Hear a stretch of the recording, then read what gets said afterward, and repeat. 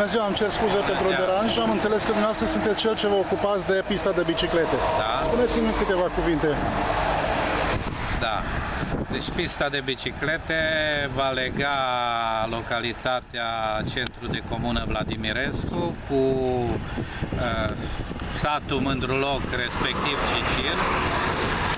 Are o lungime de 1388 de metri, segmentul 4 cu 1.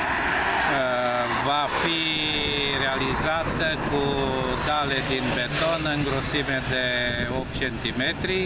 Lățimea pistei va fi de 2 metri, marcată cu marcaj rutier pe axa ei pentru circulație în două sensuri.